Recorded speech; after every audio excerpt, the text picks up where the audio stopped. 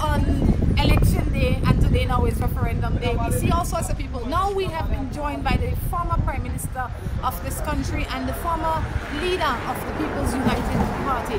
Mr. Musa, good morning. How are you? Good morning. Well, thank Pleasure you for. you. It's a pleasure to see you too. Thank you for taking the few minutes to share with me this morning. How has your day started? It's been a hot day, Yes. very hot, but it's going well. I mean, uh, I was up from uh, 5 o'clock this morning. I came out here at uh, about 6.30. All the polls were still locked down. Uh, things began to move around 10 to 7. What is the feeling like for you?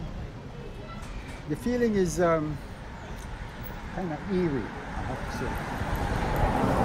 Because even though we're dealing with a transcendental issue,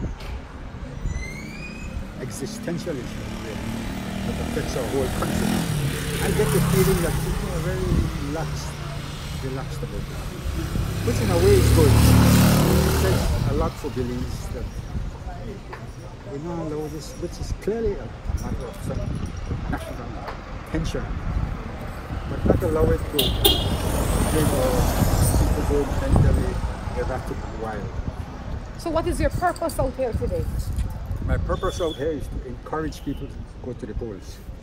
People who live in Saalek, for instance, is they're in area 8, I encourage them to go, come out and vote. They must come out and vote. What Not is must, in your hand? must, but they should. What is in your hand?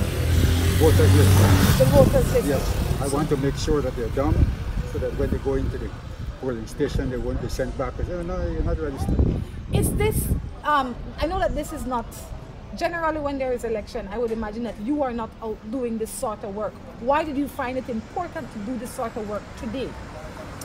Because my position today is somewhat at variance with the party that I was the leader of. I am I'm making apologies for it, and everybody knows now that I am advocating a yes vote today. We will not get into the details of that. You have the right to say how you feel about what you are going to do, but nonetheless, we encourage people to come on out and make their own decision. Whatever it is that you feel in your heart, today is the day to do it. That is Um.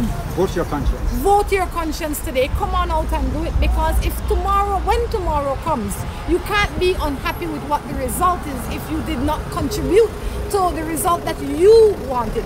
For people that are not out yet and are sitting at home watching television, what would you say to them? I would say to them, this matter is very important. Come out and vote. Exercise your democratic right. Thank you so much. You're welcome. It was a pleasure. Yeah. Definitely, we encourage people to come on out. Thank you so much. Uh, we encourage you to come on out and do what you must do today. We encourage you to vote. We are now in polling area number eight. All right. Um, it is the morning is just about finished, but you have um, until six o'clock today to do so. If you notice, it's still quiet. It's, it's, there's no lines. There's no traffic. You know, Miss Miss Des. Morning. Where you go on? How are you? What are you doing out here today? You have to come. Don't be shy. Don't be shy. Don't be shy. Tell the people morning. Good morning. What you doing? Working. You're working today? I'm doing a part-time. Okay, so uh, have you voted already? No, later. Do you intend to vote? Yes, I will. Can I depend that you will vote? Yes, you can. What has been your pull up in preventing you from going earlier? Oh, nothing. I just you feel like you're got was, was, a, was a bit late and I just came and get the job done that I'm doing and, you know, before I leave. Which area is your area? Um, Lekai. So, no make a run into you again and no make the your hand, you know. No, ma'am. Enjoy your day. Yes, ma'am. All right, come on out and vote.